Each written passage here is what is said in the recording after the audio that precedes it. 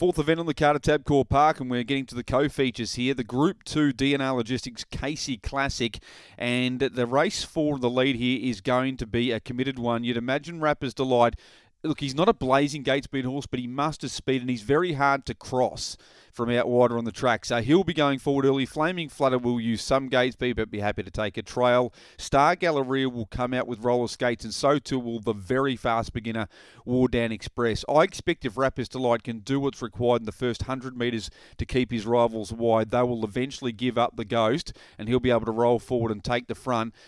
I wouldn't be surprised if Wardan Express gets across Star Galleria early. I don't think they'll be overly committed to getting involved in a brutal war, but then Star Galleria, who va- races very well up on the speed, I reckon will make a move back around to occupy the breeze and try and put the heat on Rapper's Delight from there.